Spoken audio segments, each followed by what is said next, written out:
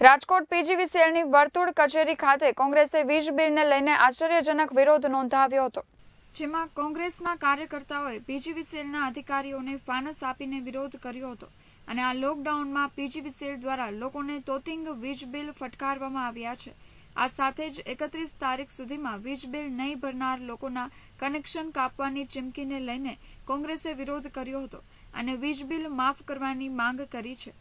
ત્યારે કોંગ્રેસના કાર્યકરોએ પીજીવીસીએલની વર્તુળ કચેરીમાં વીજ બિલની હોડી કરી અને ઉગ્ર વિરોધ નોંધાવ્યો છે.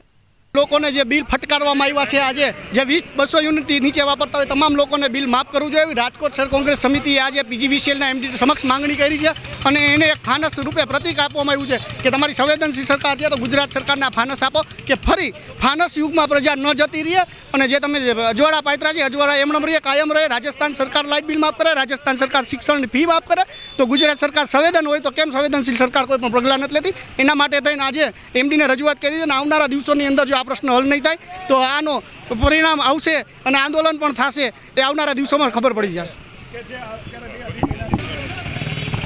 આજે અમે છેલ્લા ચાર દિવસથી આંદોલન ચલાવી રહ્યું છે, બે વાર વિજયભાઈ રૂપાણીને પણ અમે આવેદન કાગળ લખ્યો છે. અને અમે તો ત્યાં સુધી કીધું કે વિજયભાઈને રાજકોટની જનતાએ ખોબે ખોબે મત જ્યારે આપ્યા છે, ત્યારે આ મહામારીમાં કરોડો રૂપિયાની ખોટી જો વાતો કરે છે ઉપરથી મોદીની કે અમે આટલો રાહત આપીને આટલી, અમારે કોઈ જાતની રાહત અમને રાજકોટને મળી નથી, ગુજરાતને મળી નથી. અને જોતી પણ નથી ખોટી અમારી ખાલી વ્યાજબી માંગ છે. જીઈબીમાં બે મહિનાનું બિલ માફ કરે. નાના માણસો જે લોકો ખરીબ ખરેખર ગરીબ છે, બસો યુનિટ સુધીનું. અને બાકીના જેની પાસે ન હોય, પૈસા, એને હપ્તા કરી દઈએ. વ્યાજ ન ચડાવે ને લાઇટ ન કાપે એટલી જ અમારી નાની માંગણી છે. બીજી માંગ અમે મુખ્યમંત્રીને મળશું.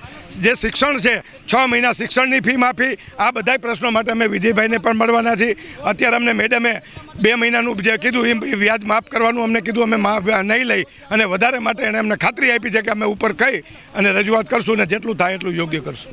Cameraman Meram Solanki KTV news Rajkot.